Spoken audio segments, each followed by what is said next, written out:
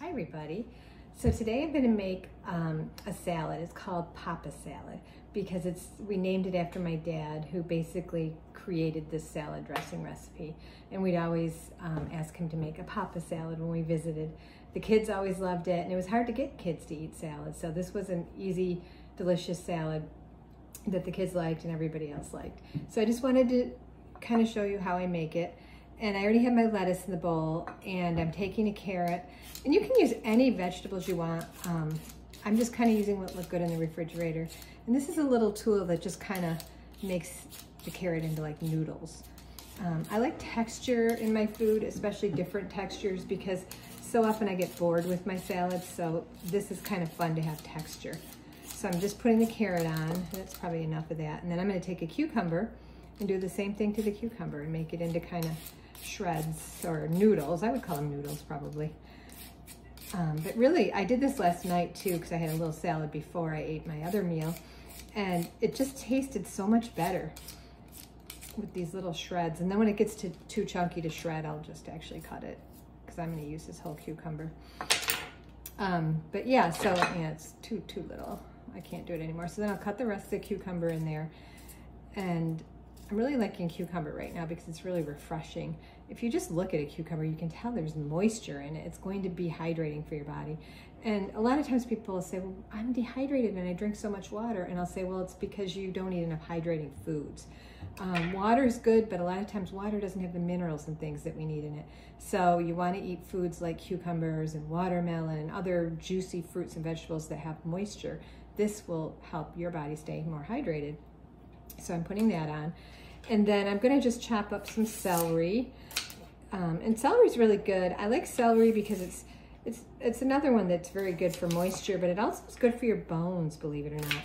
And as you age, um, you definitely need more help with your bones. So I just cut it in small little chunks and um, just throw it in your salad. So I'll get that chopped and put that in. And so then as you can see, I have a nice salad going here, pretty big. I make them big because it's my lunch. You know, I want to be full. So I do a lot on there. So then it comes to, and it's weird because I'm not quite in here, but the reason is, is because I'm not quite sure how to get it far enough to get it, because I have it on the edge of my counter. Um, I'll figure it out for another video, but for now, this is Papa salad, and you get half of my head because I want you to see the salad part. So I make a big salad because this is my lunch and I don't want to be too hungry after my lunch or I'm going to start snacking. I'm a big snacker. So to avoid snacking, I have to eat enough. Um, and this is such good roughage and such good nutrients. And I like to eat, I like to chew. And this is going to take me a while to eat. So I'll do something on the computer, some type of work while I'm eating and really enjoy that.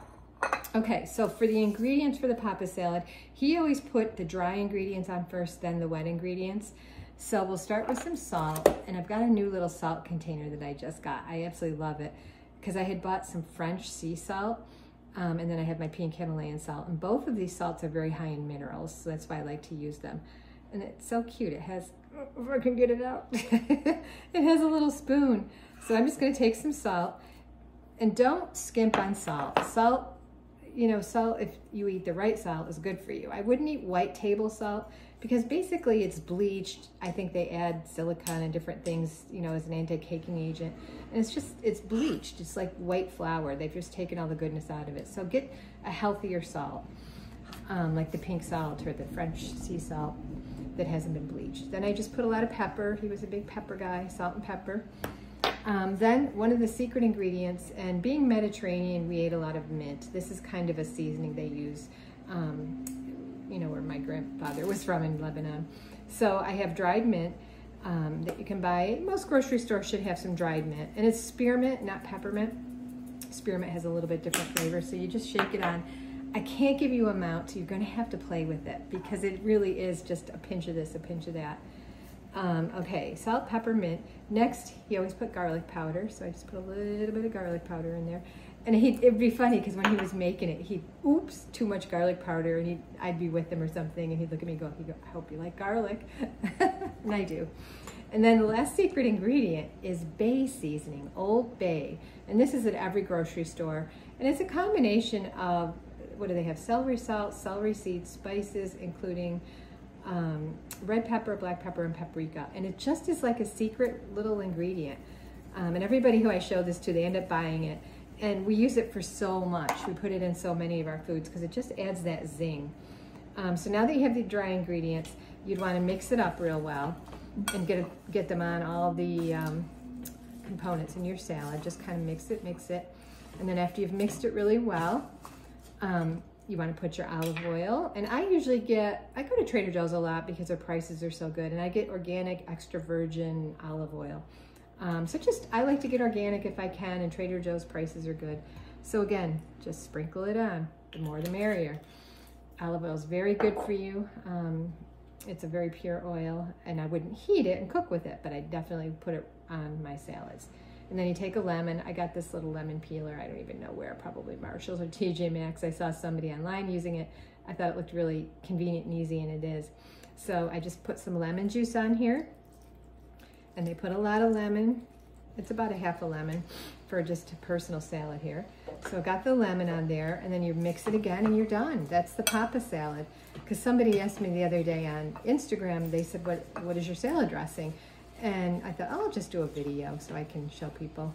Um, so here it is, Papa salad.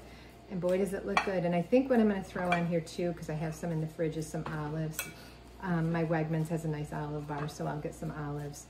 And I like that kind of salty. I'm such a salt lover. So here's the Papa salad, very easy.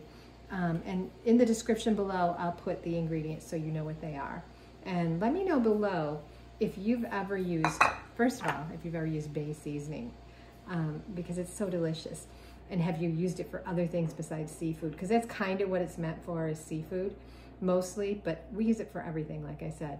And also let me know below if you've ever tried French sea salt. That's a new thing I've tried and I'm really loving it. Um, and if you have any questions or anything, put it below too. So there's your Papa Salad. Thanks for watching.